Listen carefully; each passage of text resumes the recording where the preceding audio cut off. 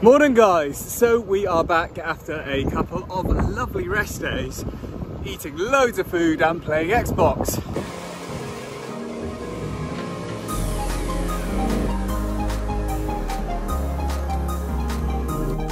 I'm out rocking my new shades, courtesy of my girlfriend's mum, legend, what a birthday present, frame bag from my mum.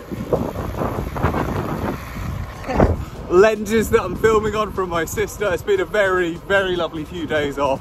I've got some new cool stuff to use, so I'm really, really happy.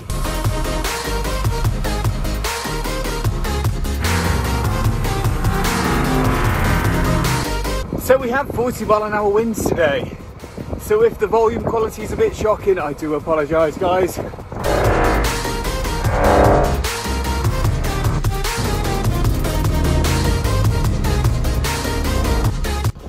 Bee just stung me in the head.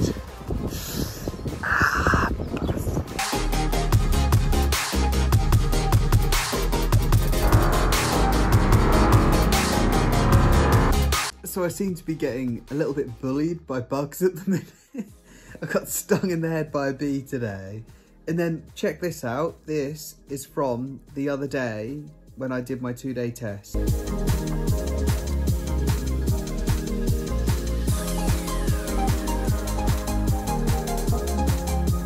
Hi guys, so me and Ivy chilling here, about to play some Xbox.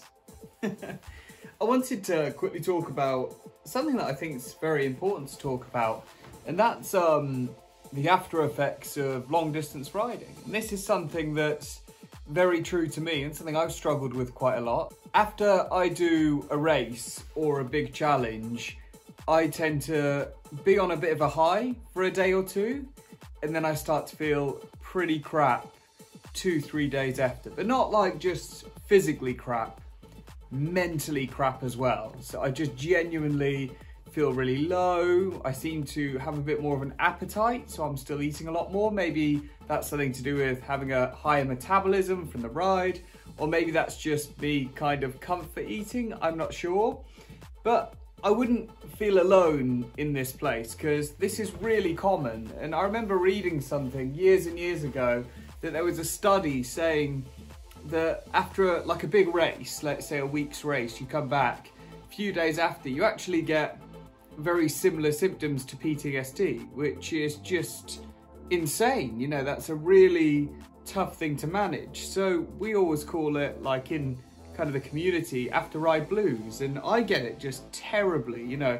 I always feel quite deflated for days after and I really struggle. And I'm not this kind of happy smiley full energy Robbie for a while.